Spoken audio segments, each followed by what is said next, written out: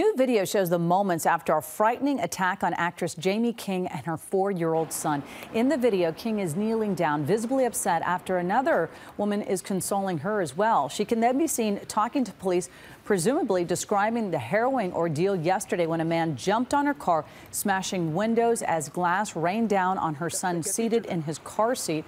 That man was arrest arrested. Now, today, King released a statement saying she and her son are very shaken up, writing, quote, my brave friend Judith Ballo used her self-defense training to try and keep the individual from harming James Knight while glass was shattering on him as the perpetrator jumped on the roof until it collapsed and kicked in windows, trying to get to him. She's talking about her son. He threw a bottle at her, hitting and assaulting her, but he couldn't catch mm. her.